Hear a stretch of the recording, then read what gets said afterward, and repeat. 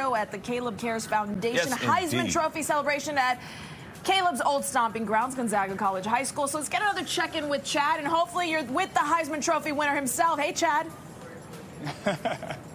How are you, Marina and Joe? Listen, this is a truly special and spectacular day. I say all of the time that the best high school collegiate student athletes in America come from right here in the DMV. Today we have arguably the biggest star of all time. That, of course, is Heisman Trophy winner Caleb Williams, who is joining us now as he's here with us in the zone. Caleb, I know that you've answered a ton of questions about winning the Heisman, but in the last seven months, you uh, you won that Heisman. You had a big season out at USC, a media tour that you've been on. What has this last year been like for you?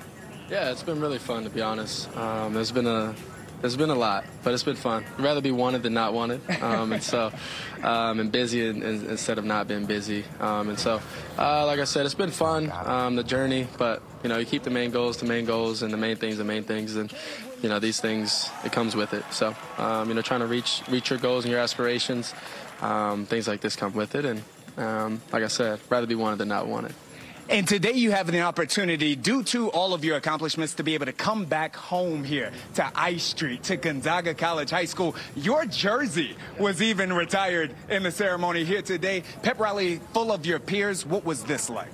I was really, it was, it was really, and honestly, um, it's the word I can put to It, it felt emotional, really. Yeah, it, it, it did. It did. Um, just because it's old stomping grounds, you know, you put so much hard work into this place, whether it was school, because school was rigorous here, or um, whether it was football. And, and Coach T was he was tough on us, and so um, you know, it, it did prepare me for, for what I've been doing and, and you know the next step at some point. But um, yeah, it, it was a it was a bit of an emotional kind of thing um, coming back and you know being one of the guys here Yeah. of, of these other two legends to be able to, you know, get their get their jersey retired. So it's, it was a really cool moment also.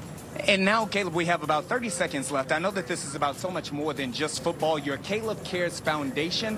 Why is this something that you started? What do you intend to do? Yeah, the, the, the mantra here that we have it instilled in me from coach um, and, and, and Gonzaga is, is men for others. And so, um, you know, me being a man for just anyone else and um, using my platform and, and, and my base that I have to be able to reach out and help others. That's right. Caleb, it has been an honor covering you since middle school, brother.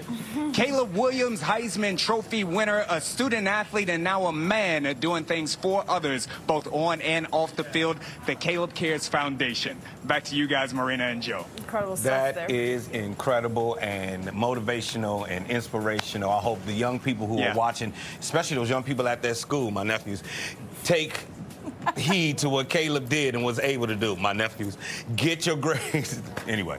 Yeah, no, I mean, it, it- he is a role model these days. They retired Mm-hmm. his jersey, and every time they look up at that gym or think about someone in the DMV, if you're not at that school, just remember there are people who have made it out, have done it, and have done it big. And you can do it too. Absolutely. What an inspiration there. Caleb Williams, a Heisman Trophy winner right here from the DMV. When we come back in the zone, we're going Way to the web. We're going to producer Coco. Oh, my man. And we got a debate from the Shade Room.